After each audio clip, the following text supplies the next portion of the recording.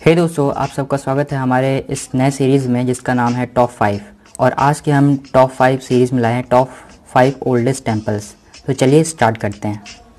पहले रैंक पे है मुंडेश्वरी देवी टेंपल ये सिक्स थर्टी फाइव बी में बना हुआ है, कैमूर बिहार में ये।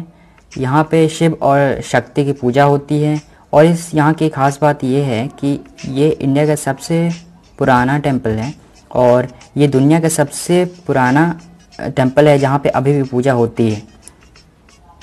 तो दोस्तों सेकेंड रैंक पे है द्वारकाधीश टेंपल ये द्वारका गुजरात में प्रेजेंट है। ये बाईस सौ साल पुराना है। इसमें कृष्ण भगवान की पूजा होती है। ऐसा माना जाता है कि कृष्ण के पोते ने इस मंदिर को बनवाया है।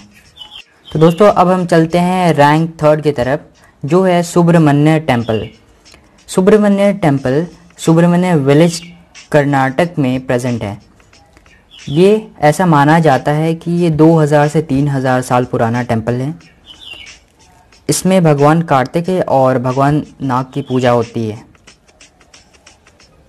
रैंक फोर है चंगू नारायण टेंपल ये काठमांडू, नेपाल में प्रेजेंट है।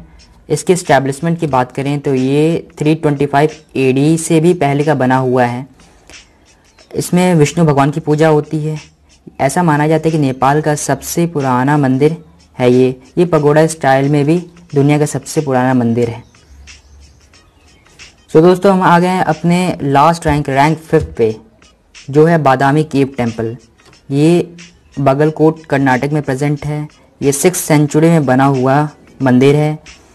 इसमें तांडव करते हुए शिव की पूजा होती है, जिसको हम लोग नटराज भी बोलते हैं।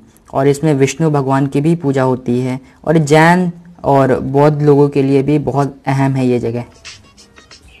So दोस्तों, ये थे हमारे टॉप फाइव ओल्डेस्ट टेम्पल्स और अगर आगे भी आपको टॉप फाइव्स के बारे में जानते रहना है तो हमारे संग जुड़े रहिए और अपने दोस्तों के संग शेयर कीजिए।